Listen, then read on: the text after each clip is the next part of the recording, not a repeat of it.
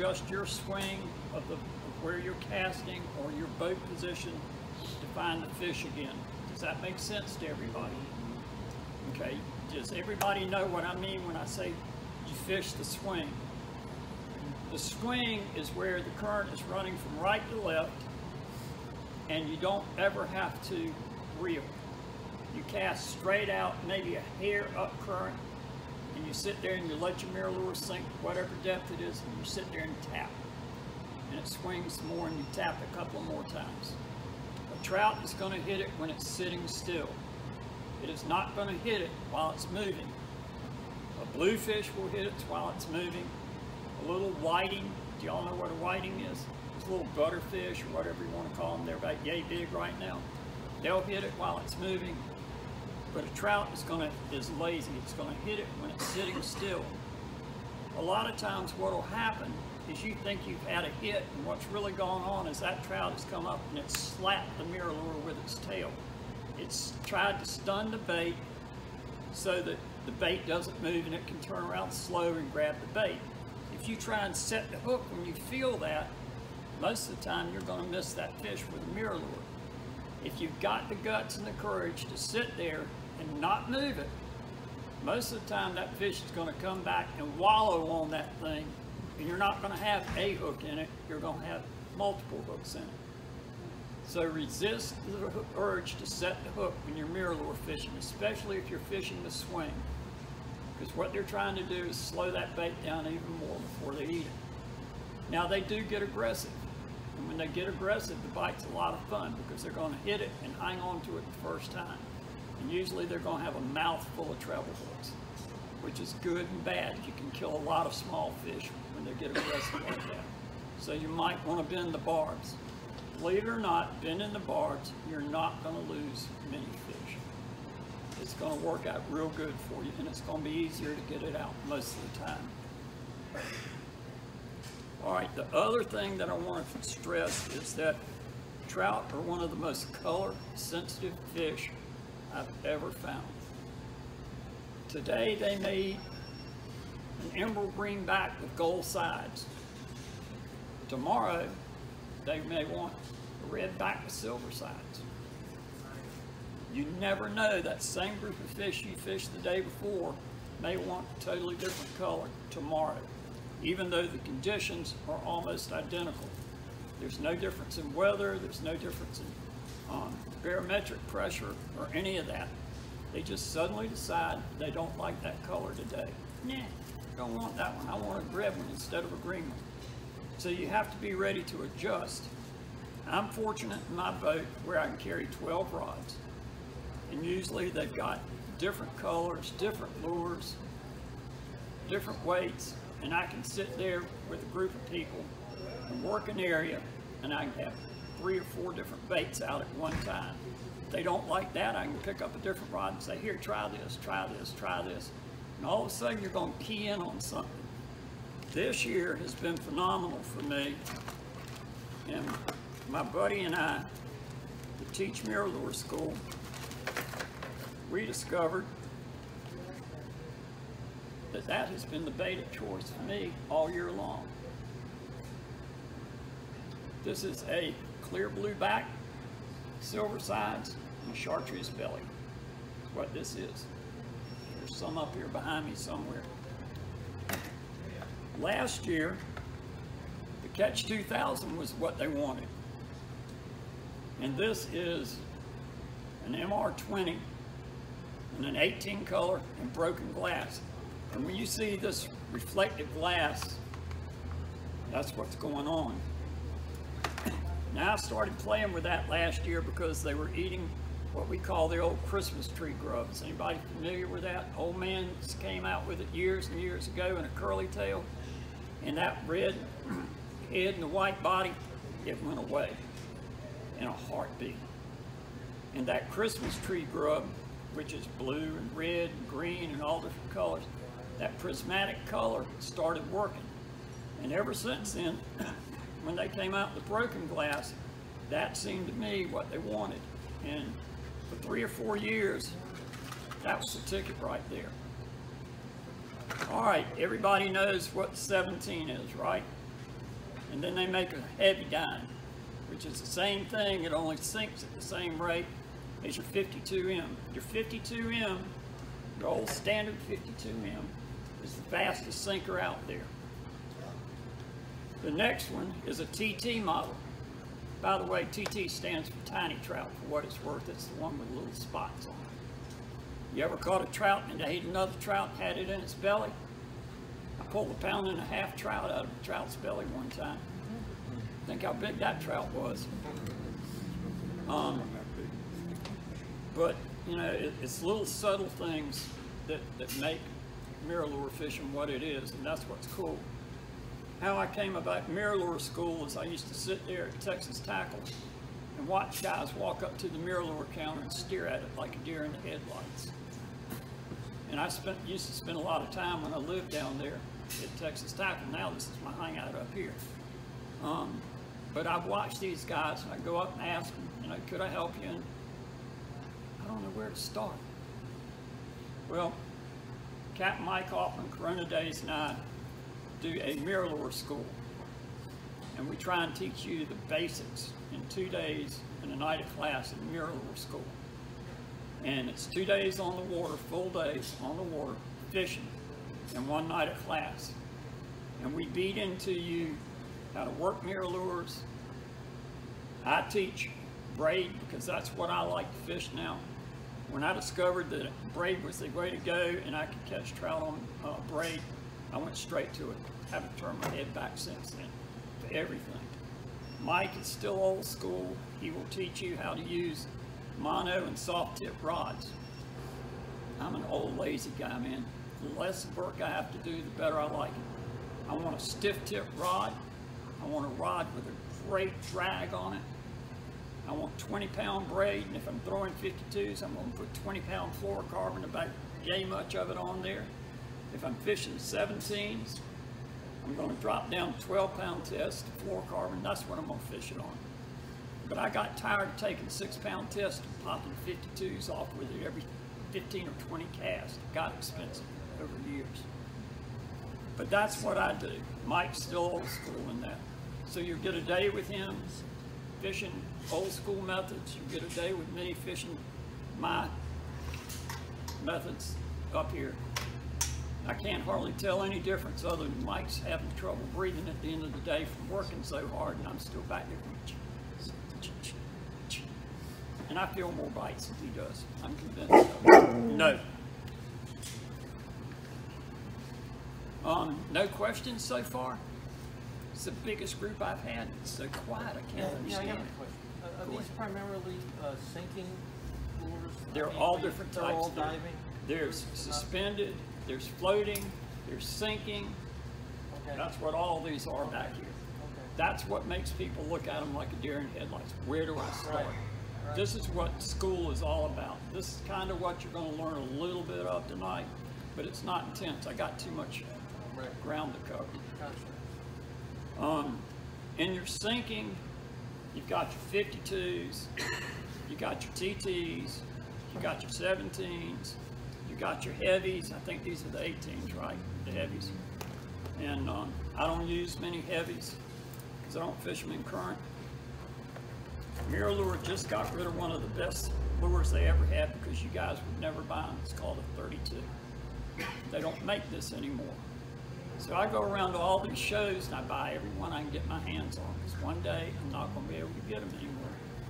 I probably catch 250, 300 trout on this lure every year, maybe more. Not necessarily this color, but that size. It's the size that I'm looking for. That's the small finger mullet this time of year that's just starting to show up. The neat thing about this is you can run it off the top hook, just like a 52. It sinks at the same rate as a 52. Or you can run it off the nose hook, which is what I do, and swim it like I do the Catch 2000. The Catch 2000 is great in four foot of water or less, five foot of water or less.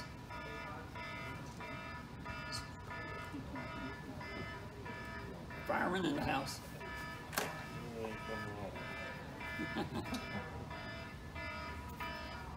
Sorry. It's all right. Um, good dirty watercolor for around here that I really, really, really like. Because I fish a lot of five foot or less. I used to fish out of Beaufort, Morehead City a lot. I've been lucky to fish with some of the best trout fishermen in this state and some of the best trout fishermen coming out of Texas. Um, Texas has some beautiful trout fishing. They like coming up here because we have some beautiful trout fishing too. But I used to fish South River a lot, and the old fellas that I used to talk to in South River at lunchtime always would tell me, he said, Lee, look for that five foot or less. He said up here that was key, down here it's key too. That five foot or less is, as long as they got that five foot to roll off into in the evenings, where they can get deep, kind of get away from some shallow water prey and stuff, trout get real happy. They like a nice sunny spot, flat spot to get up on in the daytime. They like to roll off in that deeper water during during the evenings and get right on that edge where it rolls off right there. This is a 19 color in a Catch 2000. It's got the old Mudman, a green back. It's got a red or yellow belly. It's got the gold sides. And it's an absolutely deadly color for this stained tannic water that we have. This is my go-to bait in when that's stained water. Some years it goes right on through, other years it kind of fades off as the water clears up. And this year it was this puppy. See, I fish a lot of catch 2000s. Very few people fish them. You're losing a valuable resource in your trout fishing if you don't start playing with the catch 2000s, especially if you're in that five quarter or less. Um, Kings Creek, Turkey Creek, um, the flats off of Goose Bay. All those are great places for those lures that I'm just talking about. Um, there's oyster rocks and everything else out there.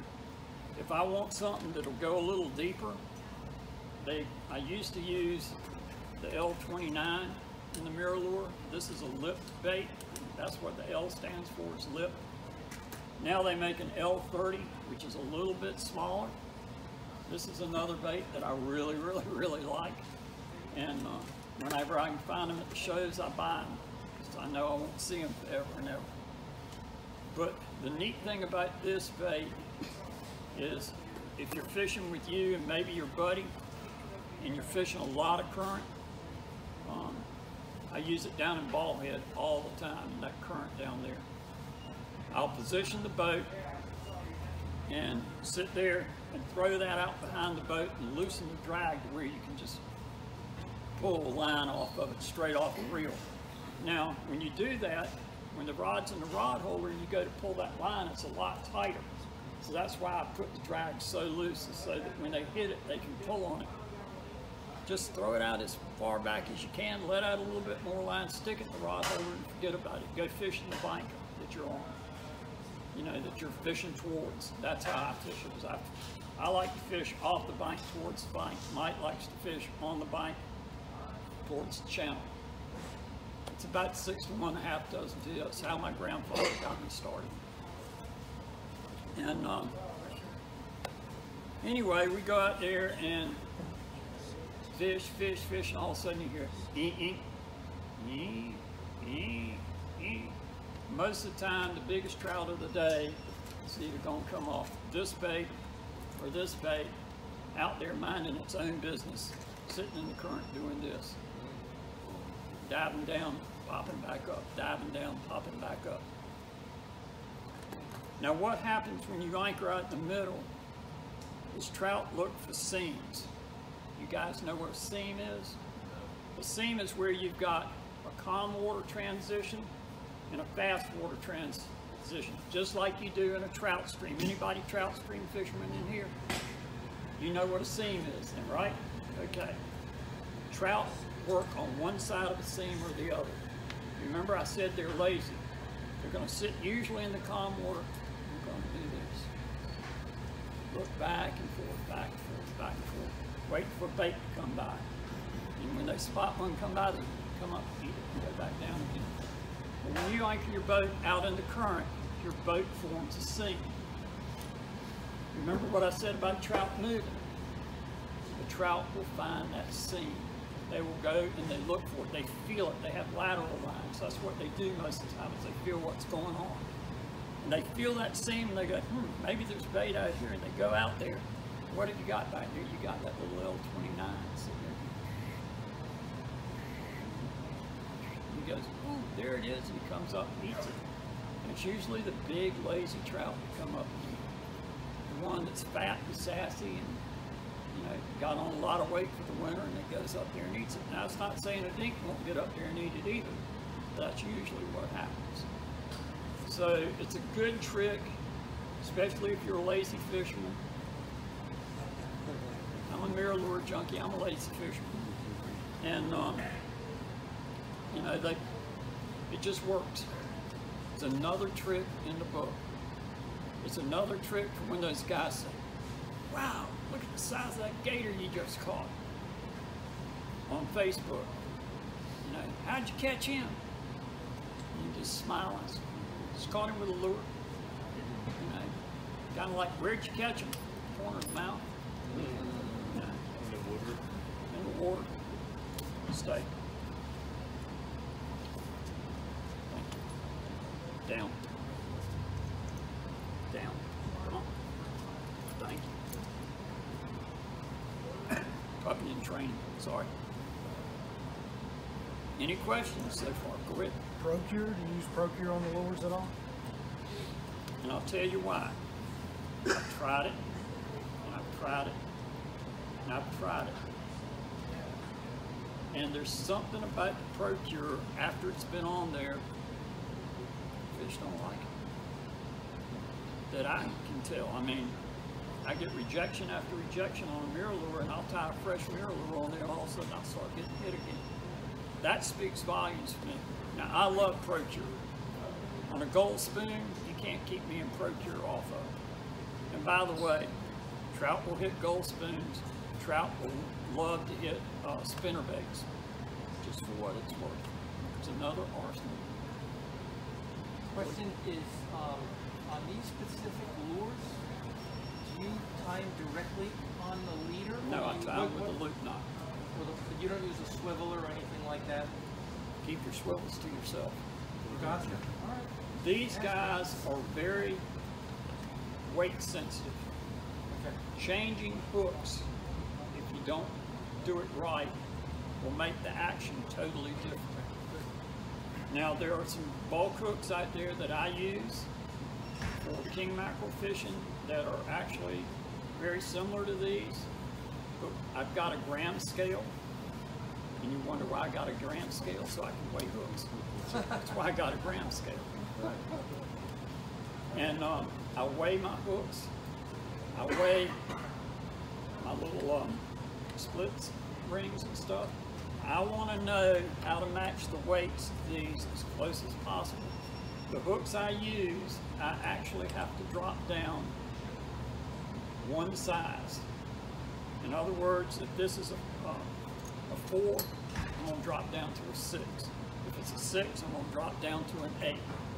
It's very, very, very important uh, to keep the weight as close to it as it is what's mattering to you. Don't worry about that dog. Thank you for that. That's- Your retrieval method, I'm a little confused. In the current, how do you do that? in If it's a the current, I do everything I can not to reel.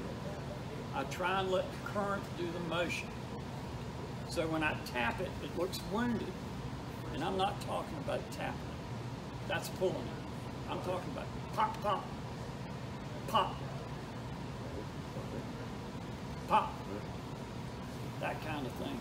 If you pull it, it's not natural. It doesn't look like a wounded bait fish. If you ever take a, a, a mullet or a menhaden, throw him on the side of the boat and pop him in the head one time good. Watch him uh, hop overboard and see how he reacts. That's what you want to mimic. You want to mimic something that's really hurting. If you can mimic that, you can catch a lot of fish with it. That's part of what Mirror School's about, is learning how to properly mimic a hurt in your bait fish. Is there a particular loop knot that you like above another? There is, and uh, there's not going to be time to show it to you tonight, I don't believe. Usually, I've been given an hour, and I'm guessing we've already run a little bit towards. Okay, What's the name of it? it's my grandfather's loop knot. I'll have to show it to you, and I'll show it to you and not kill you, but I'll show it to you. Okay.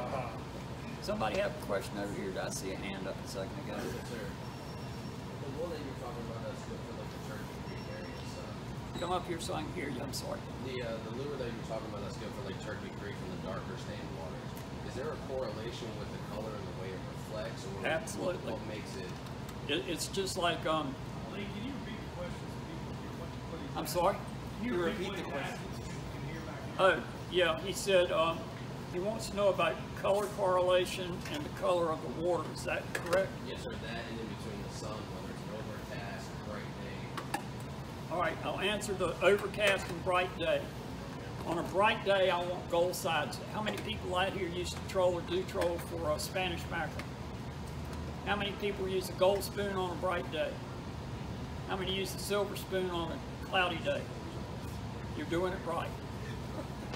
That's not saying the other way won't work. It's just typically on a bright day, a gold sided lure is not going to reflect as hard as a silver sided lure. It's going to look more natural on a, on a cloudy day, on a bright day. On a cloudy day, I'd rather have a silver sided lure. Little uh, eat up from being chewed on, but it's got the orange belly, it's got the gold sides. That's it right there. That's the Carolina Beach Special. Honestly, I do better with this down at Carolina Beach. The old 19 color. This is an old school color. It has withstood the test of time.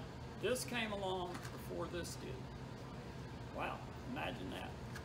This got popular. This lost its popularity. Why? It was a new color. People started buying it. It worked.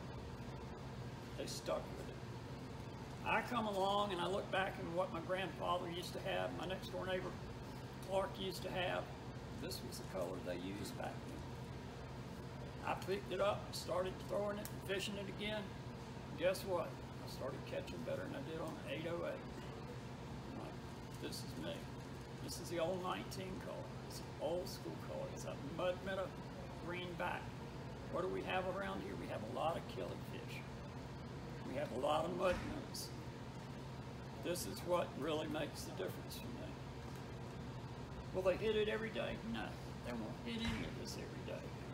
But if you play around with it enough, you'll find something that you do hit. Um,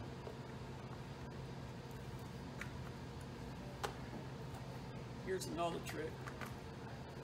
A lot of times, you can't find. This is another great dirty water color. Don't ask me why. It's, it's, I learned in South River. I go to, um, I used to have to go to the nail salons and walk in the nail salons and buy different color uh, fingernail polish so I could do this with stuff. And I used to get some of the funniest looks from those little Korean ladies walking in there and browsing through all the ladies' wild fingernail colors. And then thank goodness Walmart put in this huge selection. So now I just blend in with all the other crazies that go into Walmart and I go up there. I don't feel that bad about it anyway. Everybody does, nobody looks at you stupid in Walmart. But um, you can get a lot of stuff. This is an interesting little thing. This is called the Patriot. They made this in a standard blue color. And then all of a sudden, in 2000 is when they came out with Catch 2000. But then 9/11 hit, and Mirror is a very patriotic company. They love the United States of America, even though the, they moved their factories down to Costa Rica. They're an American company. They love it here, and they do everything to support the troops and everything else. They wanted to do something in honor of 9/11. They came out with one called the Patriot, and this is it right here. This is the Catch 2000. It's called the Patriot, and this is actually one of the originals that I didn't think head on it. I bought it this way. I just don't let any clients fish it. I fish it. So what I did was I went to Walmart, that I found it in just the standard old blue, painted my own heads on them. And if you don't believe that I don't use them, here's another one, on 2000. Um, but this works in that brown stained Cape Fear River water, um, Kings Creek, Turkey Creek, all that. It's a great color. If you can't find anything else in your box that they'll hit, try the blues. I mean, that's how we figured out what was going on this year. They wanted that little bit of chartreuse with it this year. So this turned out to be real good. So you know what I did. I've got two or three of these with painted red heads on. Because sometimes the red heads make all the difference in the world. So you can change things up yourself a little bit. Um, I'm going to kind of hop off of that for a second because I know the questions get ready to come up. What rods do I use? What reels do I use? What lines do I use? I've tried just about every braid that's been made. I have gone back to the original Power Pro, and that's where I'm trying to stick now. I do the promos. I'm a battle guy, a Penn guy. I love Penn, my Penn reels. They hold up for me. They're basically bulletproof. I can leave them in the back of the boat. If they get washed off, great. I can put them in the back of the truck, and when it rains and they get washed off, great. They just continue to work and work and work. and They hold up well for me. They put the Conquerors on sale last year. I bought one of those. It comes loaded with the Invisibraid. Invisibraid's okay, but it tends to get curled up a little bit. If you have problems with braid, usually it's because your fault. You've either been winding against the drag as hard as you can, like all my clients do, or else you've been casting a little bit of wind. You got a loop over the spool, you rear back, you throw it again, all of a sudden you got this big long. Just remember one thing. Always pull the line from the rod tip. Don't ever pull it off the reel. Pinch it down, take your thumb and just do like this. And when you do, it'll come untwisted. Anybody fly fish besides me in here? All right. Pull it just like you'd strip your fly reel. Real slow, real easy. Most of the time, if you just take the time to unstraighten it, it'll just come right off. Always make sure it goes in the water. Don't let it in the boat. If it's dry, it's horrible. Keep it wet, keep it in the water, and if it goes in the water, when you finally get it all off and got your line back, it'll come back on your reel and it'll be wet packed again. Because you know how braid is, you cast it once, when it's first in the morning, it's dry and it goes about two thirds of the distance it should. Put your rod tip down, reel it up real quick, throw it out there again, it goes for a mile. It's the beauty of braid, it casts great wet. If you can keep it wet, it's even better. But most people want to fish up here. I don't. I fish with my rod tip to the water. Why do I do that? Because I can feel them breathe on that braid. You can feel them if they swim with your tail. You feel that little bit if you're sensitive to what goes on. The new rods, man, they're just great for that. You know, once you get a feel for it, and you're not using long mono leaders, you're using short mono leaders. 18 inches is about it for me. I'll fish them down to about 8 inches. Now, as far as fluorocarbon goes, fishing guide. I'm broke half the time. I'm cheap. I'm trying to get by on as little as I can. I am a lover of um, Vanish fluorocarbon. Why Vanish? It's a 100% fluorocarbon. I'm going to say it one more time. It's a 100% fluorocarbon. Fluorocarbon is fluorocarbon is fluorocarbon. If it gets dirty, take a baby wipe and wipe it off. If you're really that sensitive to it, and it gets dirty, trust me. You take a baby wipe and wipe down the fluorocarbon the next day, it'll be black. And they can see it. So just remember that. They can see that. But you get 200 yards for $13 or $14. You can't go wrong with that. It's real abrasion resistant. If you learn how to tie a good knot in it, knots hold up well. And I will say this, if you're fishing loop knots, there are two things you need to do. You need to retie your loop knot in the morning. If you fish it more than two days, tie your knot connection to the line the next morning. Do you understand what I'm saying when I say that? If you don't, think of it as a Kevlar vest because it's kind of like Kevlar in a lot of ways. If you tie straight to your lure, especially with a loop knot, it binds the fibers of that braid. All of a sudden, pop goes the MirrOlure. I've watched more guys tie straight braid and break off more mirror lures than shake a stiff cast, especially 52s and um, 2000s. If you tie a 20 pound piece of mono to all that, and I use a uni to uni knot. You guys know what that is? Easiest knot to tie in the world. You can tie it in the dark. Can't go too wrong with it. Pull it down snugly and pull the two of them together. You don't have to wet the braid to tie it right. Just snug it down and don't cinch the knot till the two knots meet. Then cinch it down. Trim it tight. You're good to go. But that's what works for me. What works for you guys, use it. But I'm just trying to save you some money, save you some time. And the other thing about braid, you're gonna hate me when I say this. I'm trying to. I don't own the store. How can I? The other thing about braid is once it gets frayed at the front end, tie it to a post in the yard and go for a walk. Walk around the tree, walk. I use um, PVC pipe in my yard because it's smooth, not gonna cut anything. When I get to the end, I cut it off the reel and I walk back to where I started and where I've been fishing all this time. I tie it back on the reel and I sit there and I reel it back on the reel. If it's low on the spool, add a little bit of mono to the end of it. I don't use fluorocarbon, I use regular mono. There's a reason for it, but y'all don't need to know that. Just use regular 20 pound mono. Uni to uni knot, tie it back on there, fill it back up again. You're good to go. There's nothing wrong. Braid has no memory.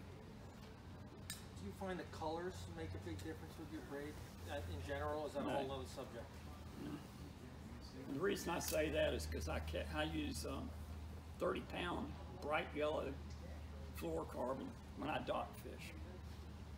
And I throw it under there in this pile of drum and I watch them swim around it and eat my bait. Hang on. The reason I do that is so I know what three rods I've got set up for dock fishing and I don't have to look for them. All I have to do is see the color of it. And I can grab those three rods and pass it to clients and get back to Doesn't fishing. matter. I mean, for the fish. Whether it's yellow or green.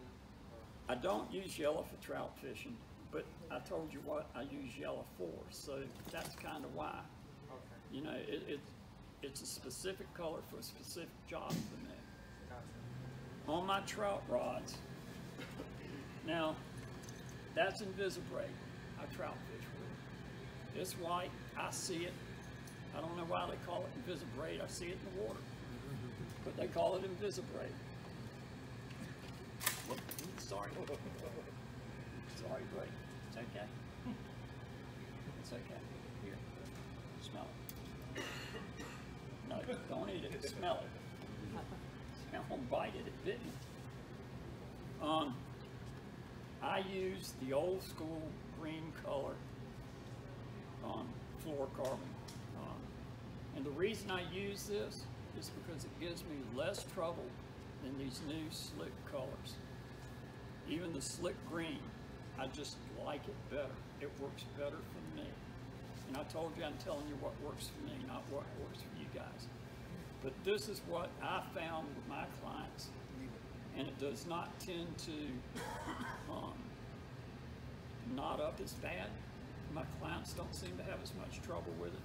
And I can get it untied or untangled a little easier. I'm not sure why, but I just know that that's what works for me. And I sit there and I untangle it. You make a mess of it, I untangle it. I went to the bank one day to get something. He goes, Lee, we got a new credit card for you. I don't want it. Well, we're going to give it to you anyway. I just need to know what your occupation is. I looked down and said, I'm a professional line untangler. and he stopped typing. He's like, what? I thought you ran charter boats. I said, I do, but I spend my day untangling everybody's mess. True story. Um, Lee, what line is that now? um, Power Pro. No. Um, this is Power Pro. That's fluorocarbon, 12 pound test. And you can see how short a leader this is right here. That's about as short as I'll bring it down. No. This is about where I typically start from, right there. Maybe a little bit longer, but not much. And the reason I don't put much more on there is because I don't like casting with the knot inside the first guide. Fell in the back. I'm sorry. Sit. Sit. Yeah, I got a question. Yes, sir. How do you uh, adjust your fishing with all the turd grass in the water this time of the year, fishing MirrOlures? Are you avoiding the grass? Or I avoid the grass like the plague. Um, that's the beauty of MirrOlure fishing. Depending on your water depth, there's a MirrOlure that will pretty much fit it. Um, or a way to fish it that pretty much fits it. Um, your standard 17s, wherever it is, right here. And one thing about a MirrOlure, if it's got a treble hook on it, it's going to tangle another treble hook. Count on it.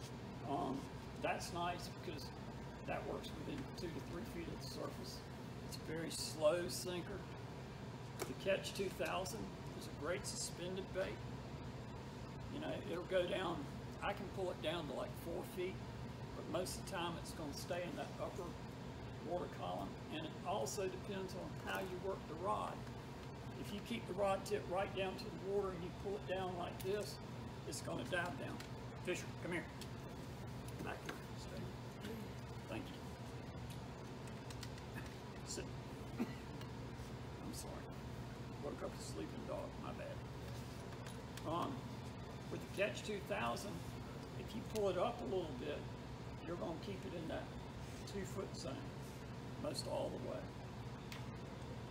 Does that kind of answer your question? In general, you're trying to avoid that grass, so you move to a different Like area. a plague. Not if the fish are there, I won't. I'll figure a way to fish around it. You had a question, I believe. Yeah, so on your trout rod, are you using 12 pound braid No. to 12 pound fluorocarbon? I'm using 15 and 20 pound braid. to 12 pound fluorocarbon. Yeah. Stay. Stay.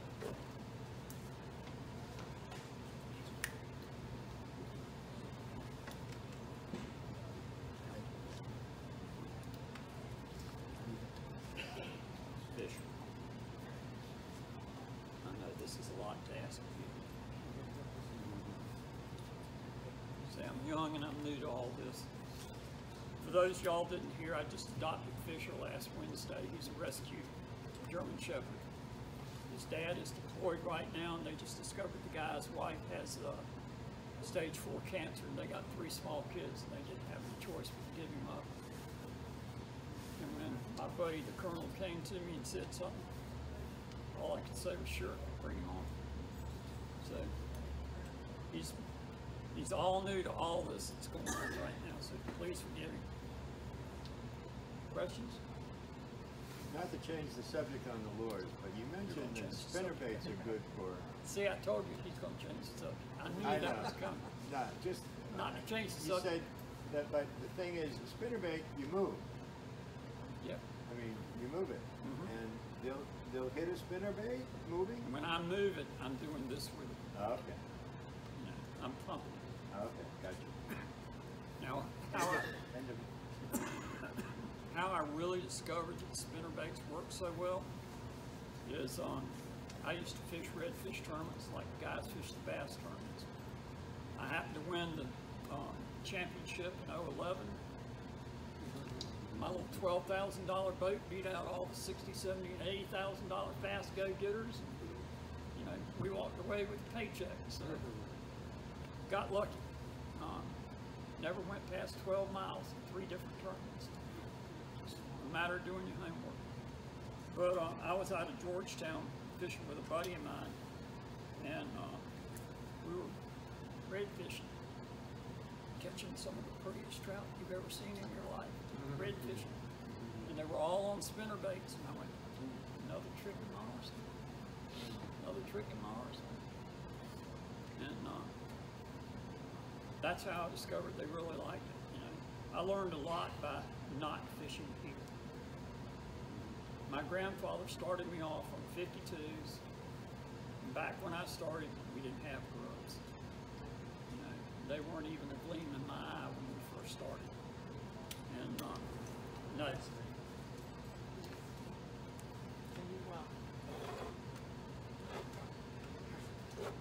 Can you, uh, tell us the difference, I mean, changing the subject, but, but, but when you look at like, gulp, like a gulp shrimp and that technique of a rubber, um, a lot of people use gulp and all that, in your opinion, what are the, like the quick pro to use this type of lure versus the gulps? I mean, a lot of people, I've only been fishing here like a year, and everybody's like gulp, gulp, gulp, rubber worm, you know, jig heads, that kind of thing. I'm sure, you know, a quick, like, what's the um, advantage in your opinion? Or You know, I told you I'm getting old, I'm getting tired. And and grubs great. I mean, they work. There's no doubt in my Right. mind they work. Right. There's something about that. Pop it off the bottom and let them fall. Pop it off the bottom and let them fall. Right. Where you're going pop and let them fall. Pop and let them fall. Pop and let them fall. I mean, tap tap. Tap. Gotcha. Tap tap tap tap. Tap. You're working about ten times harder than I am. Uh, okay, that's the key. Yeah. And that's the key. Now, I'm not saying that they're gonna hit mirror lures all the time. Some days they're just gonna hit a grub, and that's all there is to it. But there are other days they're gonna go, ah, look at that thing, we're too lazy to go get it. And this MirrOlure comes in, maybe just moving this fast past, they go, ooh, easy target. Okay. I'll take, and the other thing, a grub a subtle hit. It's like tick, and if you don't feel it and set the hook, he's gone. Yeah, yeah. And you'll reel it back in, and that tail will be around the hook, and he'll be back gone. laughing at him. He's, hey guys, did you see what I did to that guy's lure? I just screwed it up good. He's got to fix it now. You know, they're all hanging out at the bars laughing about what they did all day. And then they're going, well, where's Bill? We hadn't seen him tonight. Bill's sitting in somebody's frying pan because he came up, made a mirror lure, and couldn't shake it. Thank you. Um, but yeah, it's just less work. I, I keep telling people it's an old man's sport. And the biggest thing with a MirrOlure is when you think you're working it slow enough and you're not getting bit, slow down. Slow down. That's the biggest fallacy people have MirrOlure fishing. Is they want to fish it like a, um, a jig head. Right. You know, I'm like, no, slow down. I wrap more knuckles around people in the boat sometimes than you shake a stick at, because it's the only way I can get them to slow down is to, to wound them. you know, I don't stick a hook in them, but I'll pop them with a rod. Is it a similar technique like with reds with mirror lures too? Um, if I'm going to MirrOlure fish for a red drum, which I don't like to do because there's too many treble hooks involved, and um, I use uh, a red back and a silver body. They hit that over everything else for me. A drum will. Got your number now, don't I, kid? Do you prefer working a falling tide or an incoming tide? I don't have that luxury. So what I have to do is I have to have incoming spots, falling tide spots. I have to have high tide spots and I have to have low tide spots. I gotta have the whole gamut of stuff.